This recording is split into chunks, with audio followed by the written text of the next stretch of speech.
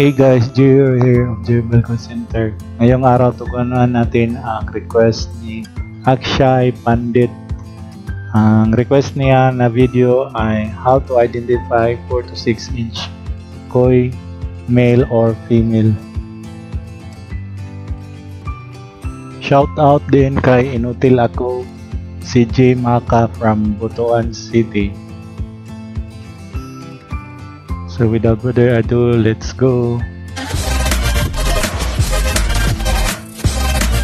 Huwag kalimutan mag-subscribe at i-hit ang bell notification para update kayo sa aking mga bagong videos. Bro Akshay Pandit, wala tayong nahuli na 4 to 6 inches. Ito mo ng 8 to 9 inches. The same naman silang tatigoy yung 1 year ang below the 1 year ang edad ba. In ito, ito ang patandaan yung female. Sa ganitong edad, ma-obvious na ang katawan ng female ay pabilog. Hormonal man siya para mag-settle down, para ma kasi medyo malikot. Okay, ito ang female, oh.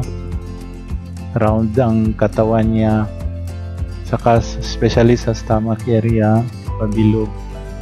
Dito, ito ang female. At saka ang pectoral fins ng female ay tingnan nyo, manipis. At yung dulo, yung tip niya ay uh, rounded ang forma. Yan, manipis. Especially dito ang stomach ko, kita nyo, pabilog siya. Kasi magde-develop ang mga eggs dyan. At saka itong butas sa ano niya, uh, anal area, itong vent ventral area ay pabudlot sa Bisaya. Yan pa uh, ano yan? Parang palap.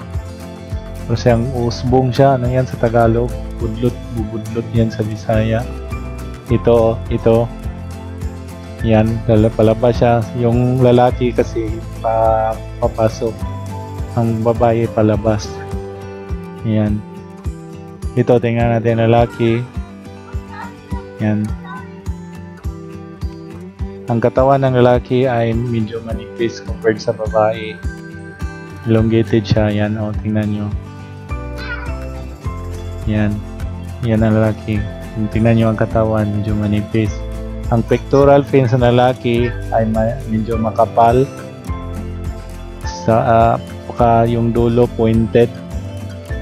At itong vent, sina, uh, tingnan nyo ang butas ng vent niya ay papasok at meron ng sperm mo kasi 1 year old na na nagsimula nang magde-develop ang ano niya reproductive system. O meron ng daming sperm. Kahit sa 1 year old pa ito.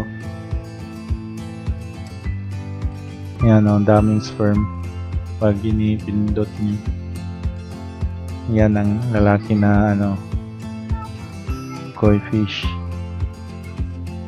Yan Yan, yung butas so papasok, hindi tulad ng female.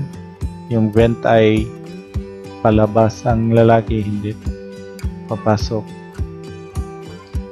Dito sa mukha, kung ready siya mag-spawn, may ano, tubercles, yung puti-puti na na medyo ano siya, hait sa Bisaya yan. Ito rough. Ito din no, sa may edge ng pectoral, mayroong puti-puti na parang stars ayan dito po sa mukha. Ang purpose niyan is mag-stimulate yan yung female na mag-spawn pag naka uh, ano nakadikit sa katawan ng babae. Ayan lang muna ang ma ano ko guys. Uh, comment lang down below kung meron pa kayong mga tanong. At don't forget uh, to like, uh, support my channel and hit the like button, share and uh, hit the bell notification button para ma-updated kayo sa aking mga bagong videos at saka uh, comment down below pag gusto nyo ma-shout out at kung may request kayong anong video gusto nyo i-gagawin ko. Okay bye for now guys. Keep safe. God bless all